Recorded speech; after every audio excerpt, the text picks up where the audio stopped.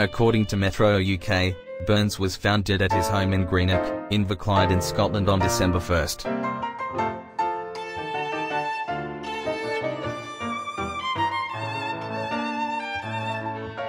While the cause of death has not yet been revealed, police told the outlet that they are not treating his death as suspicious.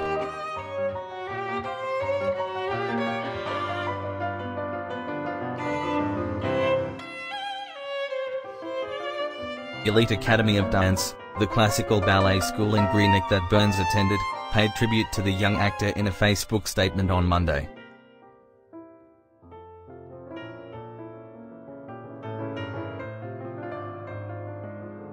Jack was an inspiration to everyone at Elite and touched the hearts of everyone who had the pleasure of working and dancing with him since 2012, the statement read.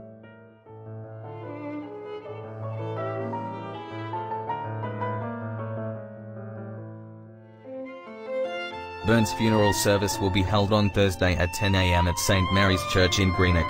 The statement also said that Burns' parents, Karen and Robert, and his younger brother Rory are inviting all elite members to attend the services.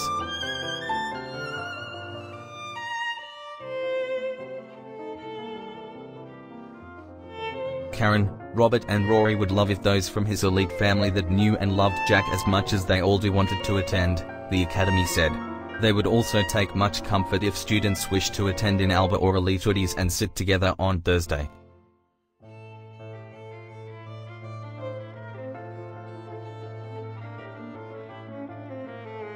According to IMDb, Burns also starred in the British drama series In Plain Sight in 2016. The same year, he appeared in the Netflix miniseries One of Us, originally titled Retribution.